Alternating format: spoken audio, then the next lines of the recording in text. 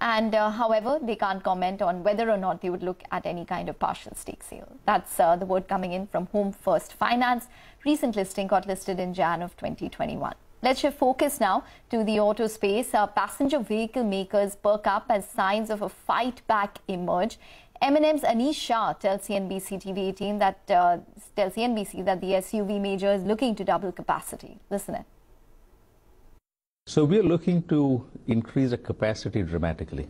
Uh, at a time when there is talk about global recession, etc. Exactly. But uh, we have seen just huge demand for our products, and uh, we have one problem today, which is we can't service our customers on time mm. because of the level of demand, which is really unprecedented.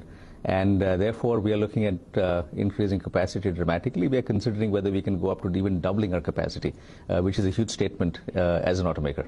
Okay, that's the word coming in from M&M. With that, we'll slip into a break. But before that, a quick reminder for our viewers. It's that time of the year again.